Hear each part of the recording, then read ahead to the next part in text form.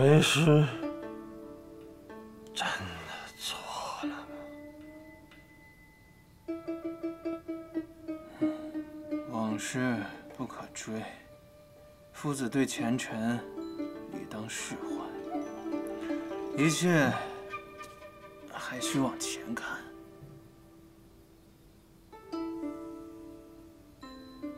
臣妾，您说我当时能够快刀斩乱麻，不与那孤女纠缠，生活就能与我重归于好？夫子，弟子听闻城池大人才貌双全，又是出名的情痴护妻，可料桑师叔余生所得的幸福，远非夫子能比。眼下。夫子不能释怀，全因陈故自若罢了。弟子愚见，情深则往，往则多虑。若能放手，则不虑不往，更不应记前尘。若夫子再纠结下去，桑师叔业已成婚，你要如何自处呢？这样吧。嗯，是。嗯，您就该早些歇息了，熬夜伤身呢。嗯。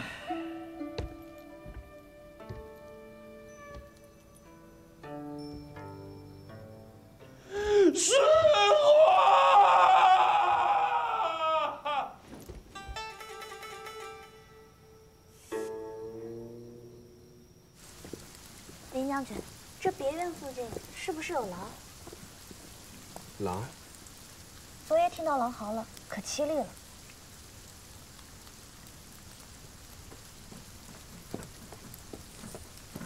阿阳，双双，快看，这马好生高大。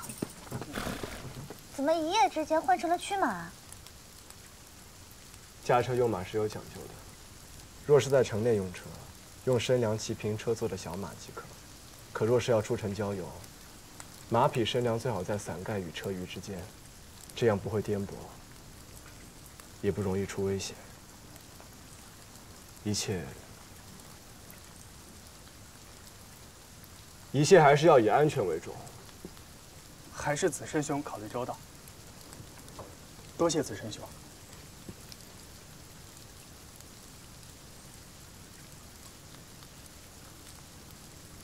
对了，怎么不见单剑兄？他恐怕是被狼吓着了，一夜未睡好。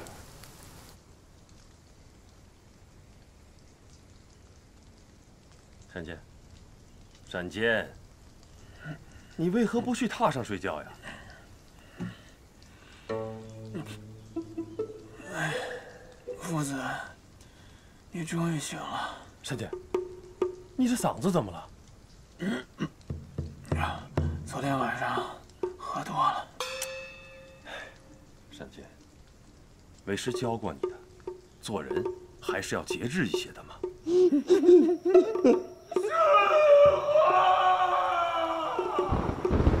哎，山剑，你说我是不是应该去与他诉说我？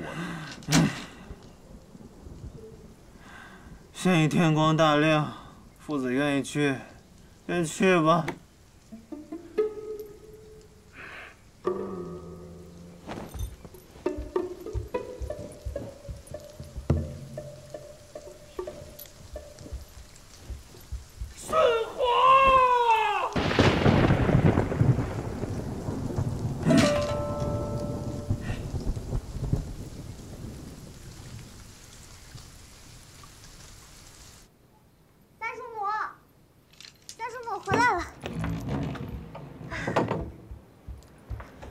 舍得回来啦，皇甫仪可对你说什么了？三叔母怎知皇甫大夫留宿了我们一晚？他送信来告知，我怎能不知？他这个人啊，坏得很。当年如此辜负三叔母，如今还厚着脸皮来纠缠你。皇甫仪也非坏人，不过是聚集全天下男子烈性于一身罢了。哼，娘娘，这女子在世，姻缘不过是人生的一道风景，成败离不开得失二字。这日后，无论遇到何情何景何人，都莫要为男人放弃了自己，不值得。三叔母的教诲，娘娘谨记于心。不过三叔母放心，我和楼瑶定会好好的，除非山崩地裂，否则定会知足常乐。你呀。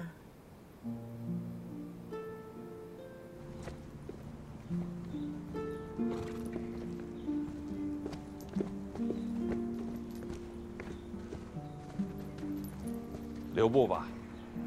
三叔母，娘娘给你修的热水池子，你要记得每日都要泡上一泡，这样才能睡得香。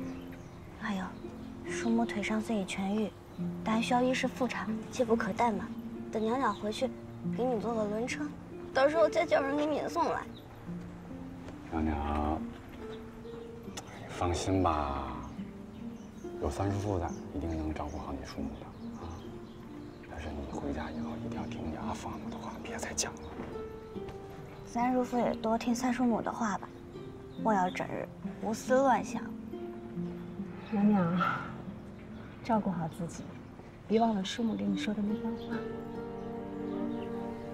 现在倒是知道依依惜别了。当日只身去华县，走时连头都不知道回一下。夫人何以知道袅袅离别时不曾回过头啊？难道夫人偷偷的追过去看过他？时辰不早了，准备启程吧。大兄、四夫，一路多保重。你们也多保重啊。夫人。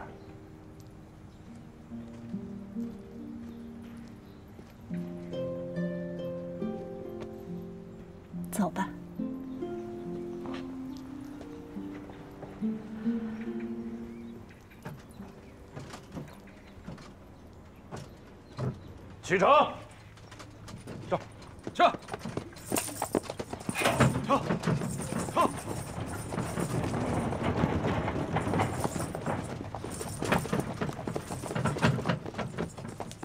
少商，等等我，等等我！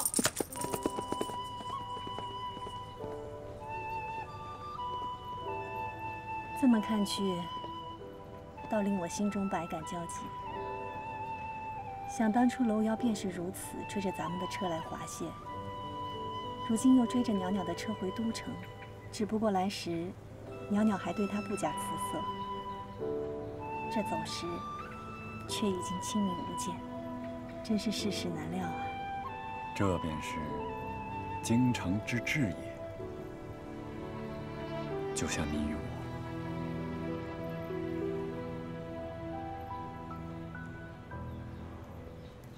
是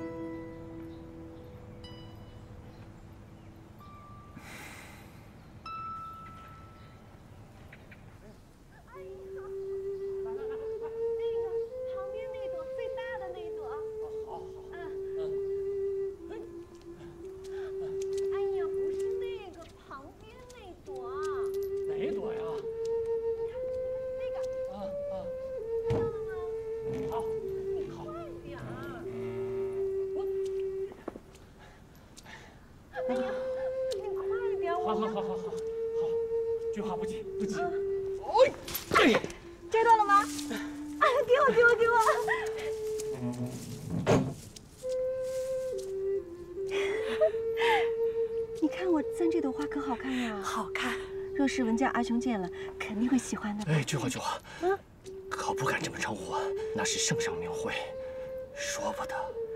阿云，就算你摘花与我簪发，我也不会嫁给你的。你若是再说这种话，我就叫我阿兄用棍棒将你打出去。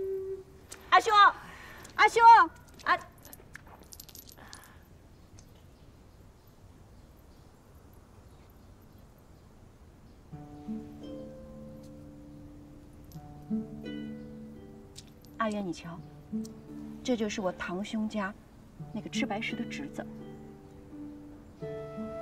哇！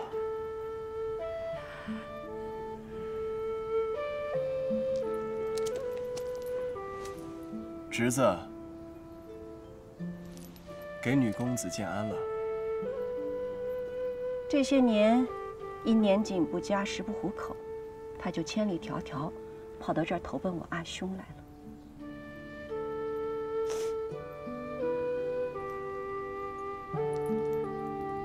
女公子怜贫惜友，自侄们感恩戴德。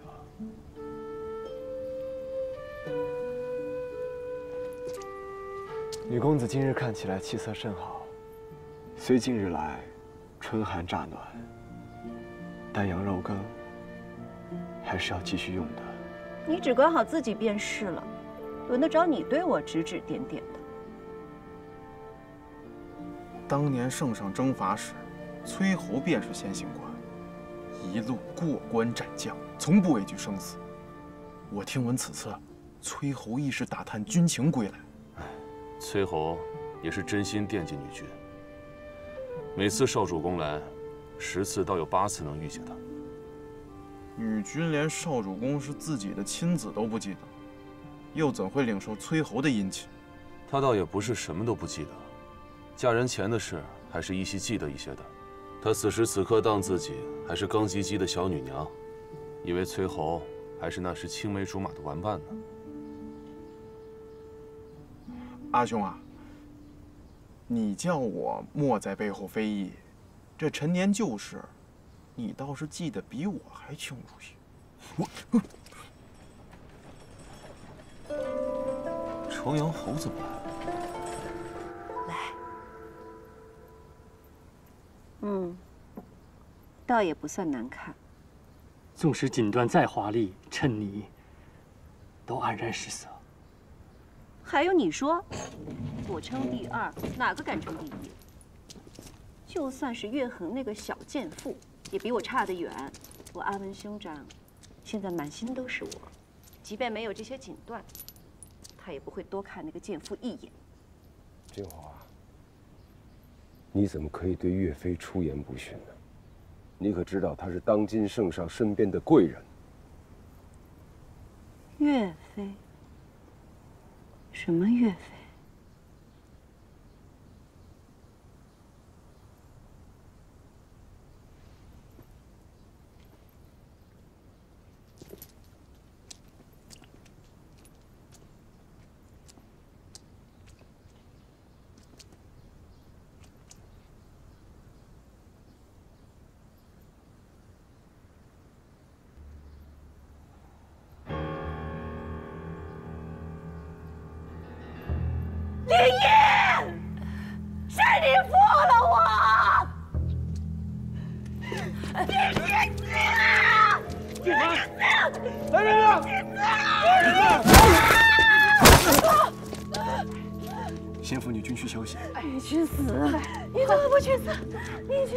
你去死！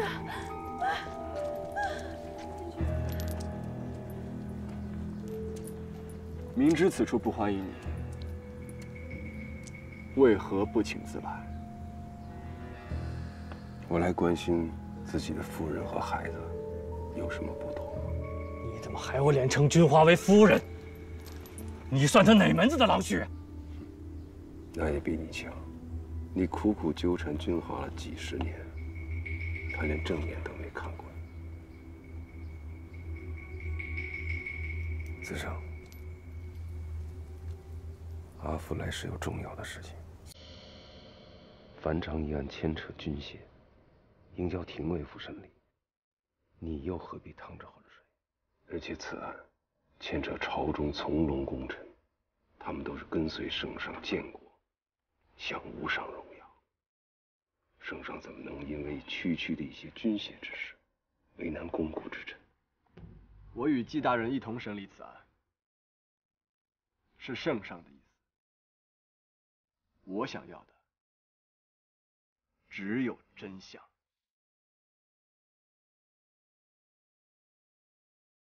子胜，你终究年龄尚轻，为父要承担起教导之责。听阿福一句话，就此罢手吧。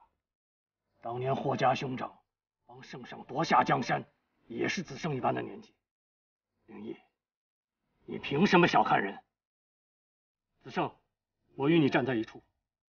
甭管此案牵扯到谁，你尽管去查。要是有人敢动你分毫，要第一个和他拼命。崔佑，你这话说的太轻巧了吧？得罪了不该得罪的人，你我都保不住他。现在他们已经动手，子胜，你可知，一个时辰前，昭玉被劫，樊昌现已逃脱。接下来这案子该怎么查？子胜，遇到大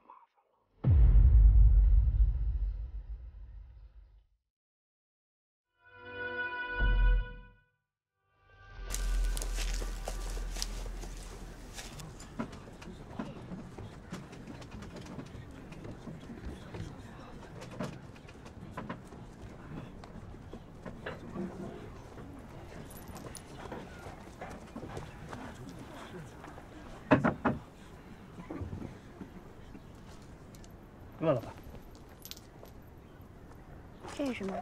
果干。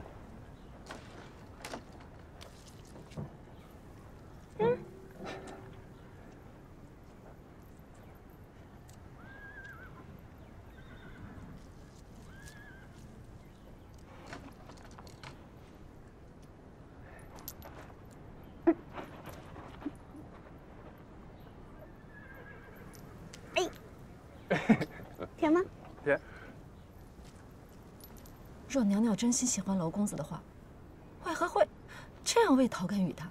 这与为犬畜有何不同？夫人这话说的就不妥了。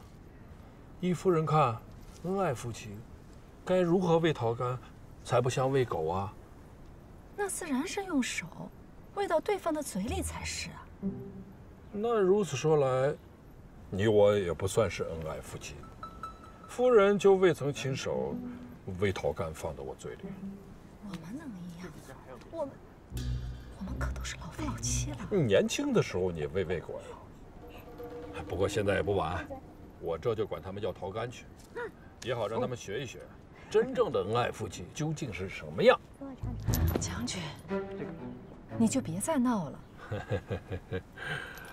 晴天白日，都城城门设置关卡。车队只让进不让出，夫君有没有想过，是否有何不妥？是啊，闲杂人等，莫要扰乱公务。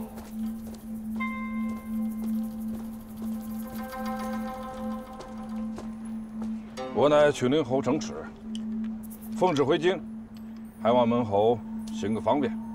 原是程将军，将军见谅。上方有令，说是有要犯投捕。小人奉命进言城门，入城者，不论官职大小，不论所因何事，都要一一排查。程将军，小人斗胆，请程将军待到明日，大约便可入城。明日？莫不是门侯欺我官职太小？下官不敢，小的也是奉命办事。程将军，不论官职大小，都要得。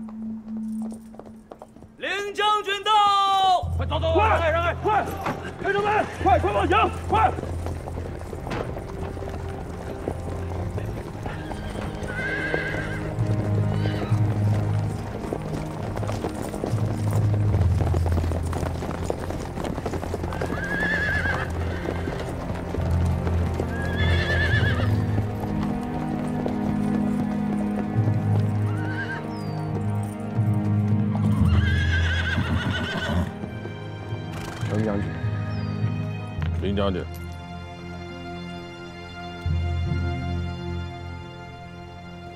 设卡如此严格，可曾真的抓到疑犯？回林将军话，未曾。我想也是。嫌犯连守卫森严的赵玉都能逃脱，更何况这关卡？你这不过是在扰民罢了。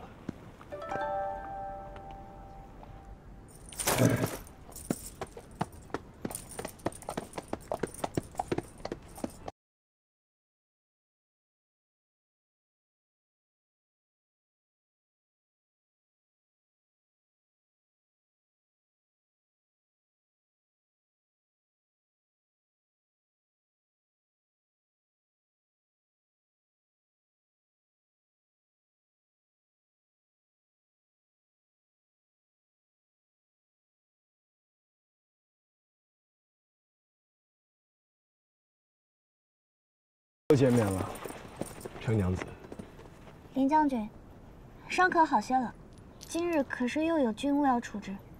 小伤而已，早就无碍了。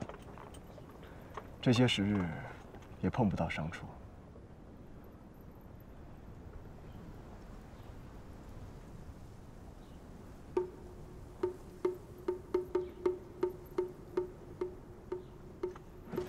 阿父，之前三叔姨女说过吧？去华仙路上，我和三叔母遭遇劫匪，是林将军救了我们。多谢林将军救命之恩。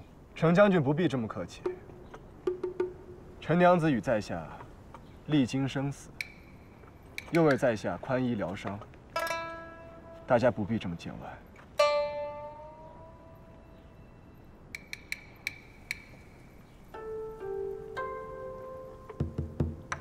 陈娘子脸色苍白，可是病了？不劳将军费心，路程颠簸，看着没力气吧？是吧，阿瑶？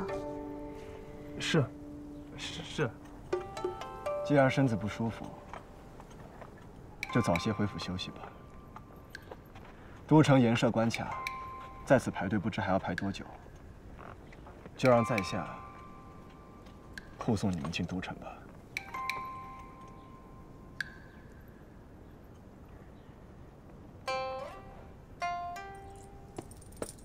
前方绕路！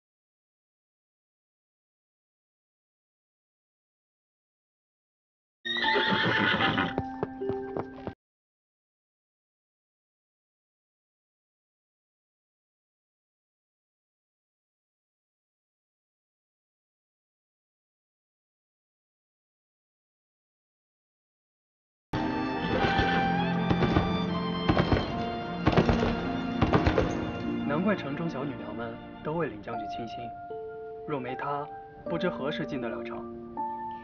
阿瑶，既入得城来，你还不赶紧回去，将你我之事禀明你阿母？对对对，我这就去。程将军、程夫人，楼瑶就此告别。驾！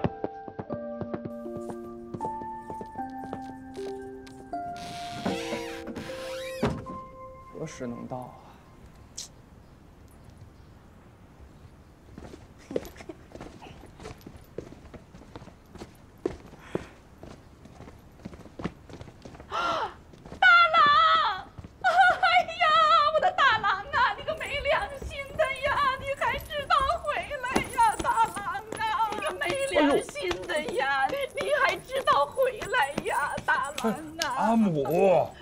虽是庄稼人出身，可也不能将我当弟弟呀。你这手劲儿，我可吃不消。你说你这，你出完了黄差，你为什么不回来？你去什么华县？我听说华县有余孽造反，你要有什么意外，你让阿母怎么活呀？阿母，袅袅也遇险了。是啊，大母，听闻袅袅遭遇贼匪，险些丧命。是，我知道，我听说了，我正要问此事呢。袅袅啊，我问你啊。你是不是跟你三叔一直在一起呀？你三叔有没有遭遇贼匪呀？你三叔有没有负累受伤啊？啊！哎呀，这个三郎他是读书人呐，他哪受过这种苦啊？三弟，他去那破衙门吃什么喝什么呀？他那个心腹也是个不顶事儿的，连饭都不会做。你让三郎。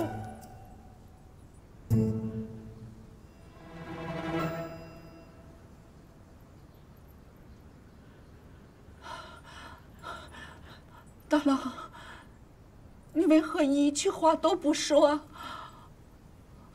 是不是你三弟出了意外？你不敢跟我说呀，老天爷！我是白发人送黑发人。阿母，休要胡言啊！三弟好着呢，一点事儿都没有。啊？那我问你这般多句，你为何一句都不答？你一口气问了这么多句，我总得想一想，先回答哪一句啊？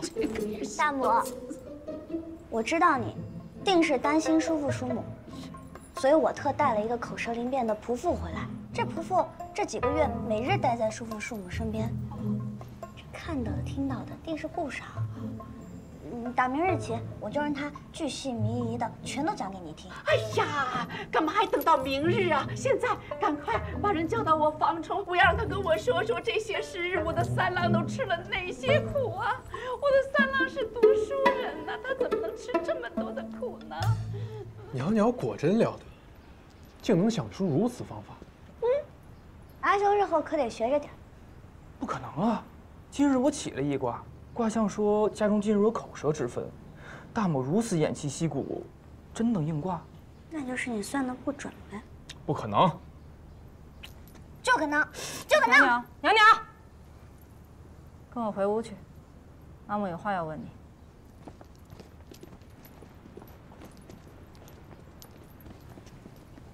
你在路上又做什么惹阿母生气了？这一路上我可一直是小心谨慎。从未惹阿母生气的。哼，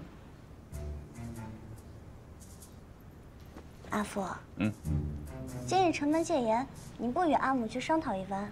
急什么？人家林将军都没提半句，显见与我家无关。你还不赶紧进去，别让你阿母等急了。可，阿父。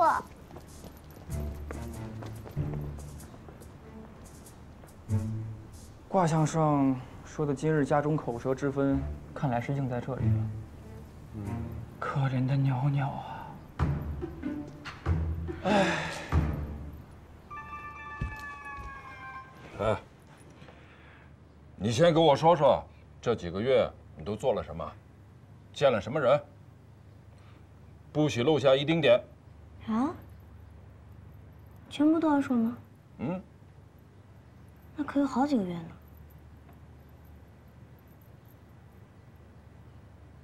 好吧，那日我跟着三叔、三叔母一同上路。哎哎哎，先说林不疑。叔父应该都跟阿父说了，不过就是那些事儿。你三叔父可没说过什么宽衣疗伤、历经生死啊。阿父，你莫听林不疑夸大其词，我跟他总共都没见过几回。没几次是多少次啊？也就三、四、五、六、七八回吧。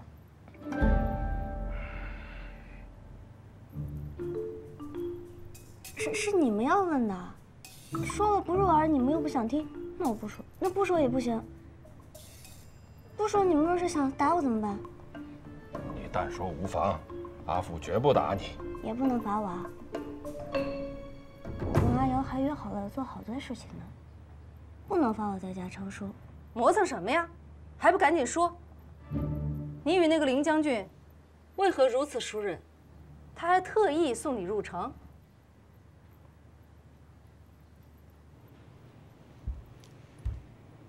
你说子申亲自打开城门关卡，还亲自接陈江四娘子进城，然后再去抓。是，陛下千万不要责怪林将军，他向来最讲规矩。此次恐怕是念及程娘子的救命之恩吧？恐怕不仅仅是救命之恩呐。那还能有什么呀？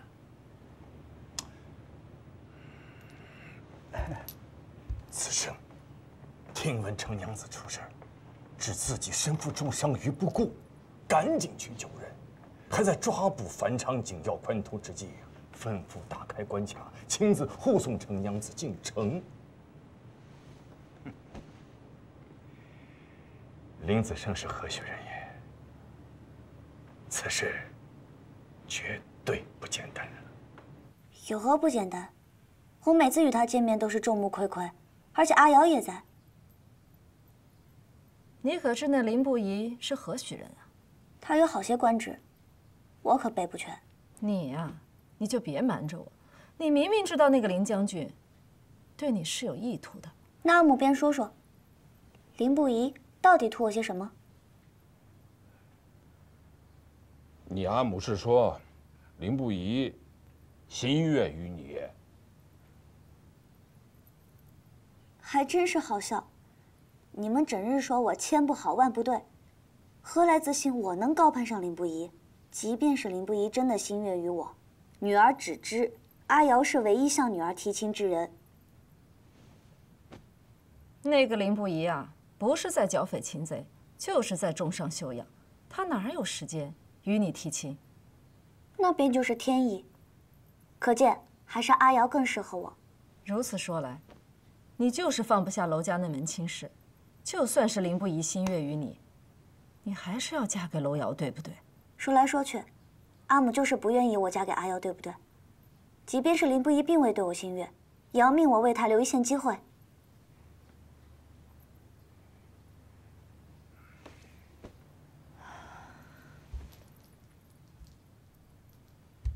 袅袅，我不是让你要选林不疑，我是希望你能够婚姻圆满。楼家二房示威，你要是嫁给他，楼瑶能护得住你吗？这天下的好儿郎这般多，你为何这般着急？你可以再等一等，看一看，这婚姻大事岂是儿戏？就是啊，阿父阿母、三叔三叔母都是神仙眷侣，我又何尝不是羡慕？只是我知道自己一直以来运气不好，若还要挑三拣四，错过了阿瑶，便想再寻个好的，也是件难事。不如阿母就像大母那般，去寻个老神仙问问，看看我错过了阿瑶，还能不能遇见比阿瑶更合适的。娘娘休要胡言。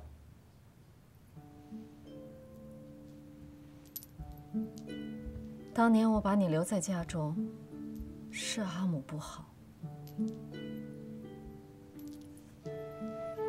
这些年啊，没有长辈的教导，你看你养成了这个顽劣的性格。你回想一下，这些日子你都做了些什么？你在汝阳王府大打出手，在万府拆桥闯祸，一桩桩、一件件荒唐之举。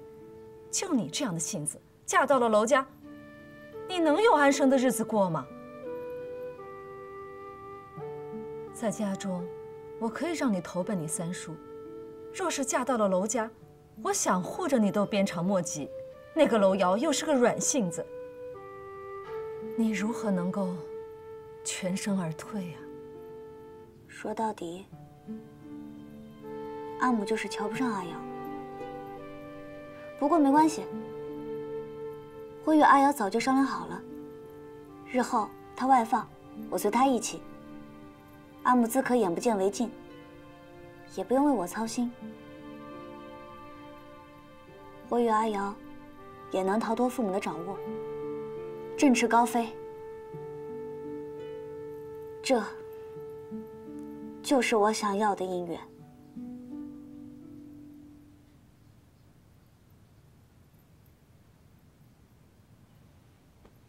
好，好，那你就和楼瑶在一起。阿母希望你能够恩爱一生，没有波折。我与你阿父不会再说什么了。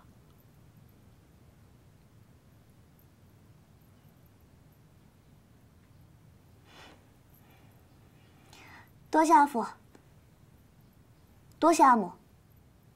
女儿先告退。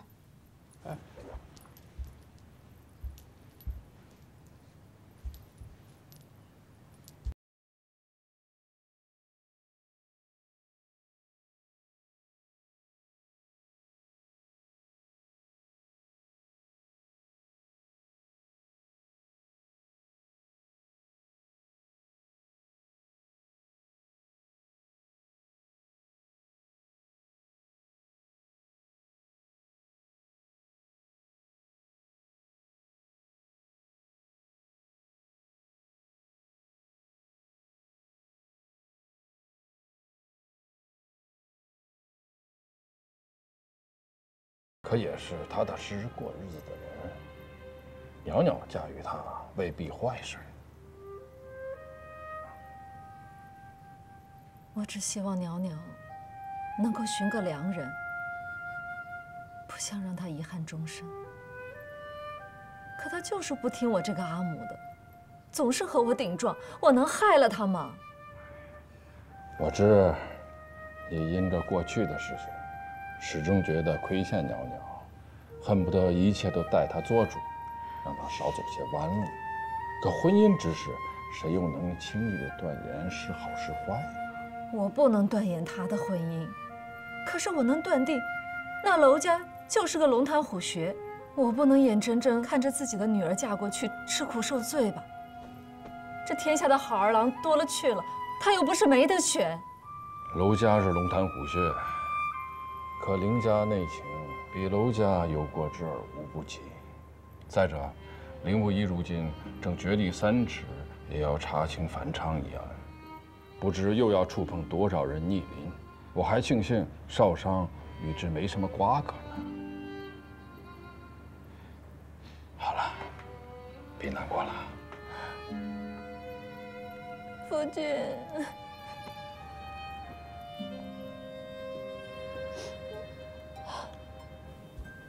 陛下，这程家小娘再好，那是和娄家定亲的。朕啊，只是心疼子生。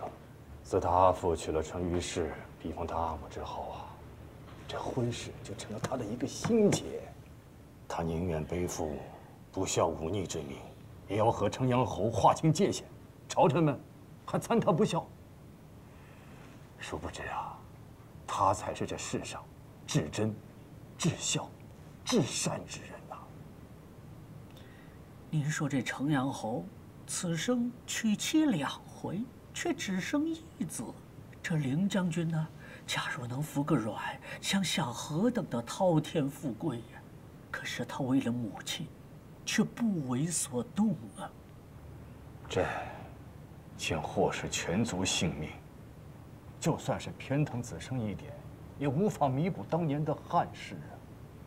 嘿，谁想到啊，令这些朝臣一个一个的嘴馋眼红了，变着法的在朕的面前呀，诋毁诬陷他。